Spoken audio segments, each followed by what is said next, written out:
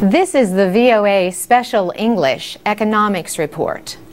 A roller coaster ride is one description for the days of historic ups and downs in stock markets recently. If you want to use a more technical term, the markets have experienced volatility in a big way. Major measures of United States markets closed with their biggest one day losses since the financial crisis of 2008. Asia and Europe also had sharp declines. Volatile markets can react suddenly in wild and unpredictable ways. Usually, some kind of shock, or more than one, is involved. For example, on August 5th, one of the three major credit rating agencies downgraded long term United States government debt. Standard & Poor's lowered its opinion of Treasury securities one step from the highest rating, AAA, to AA+. But shocks like a hopeful jobs report or good earnings results can stop a fall and send prices higher. Also, when prices fall, investors may find good deals and start buying. The United States held S&P's top rating for 70 years and never had a downgrade. But many investors were expecting that to happen even after the budget deal in Washington. In early August, Congress agreed to increase the government's borrowing limit in return for steps to cut spending and reduce the deficit.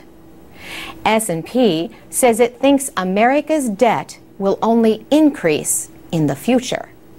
President Obama disagreed, saying, "The fact is, we didn't need a rating agency to tell us that we need a balanced, long-term approach to deficit reduction." He said markets still consider United States credit as among the world's safest. Still, there have been growing worries of another recession, a double dip. On August 9th, policymakers at the central bank said economic growth so far this year has been considerably slower than they had expected. The Federal Reserve said it would likely keep short term interest rates near zero for at least two more years. Borrowing costs for the United States remain very low. But debt worries in two of Europe's biggest economies have increased costs for their governments in recent weeks.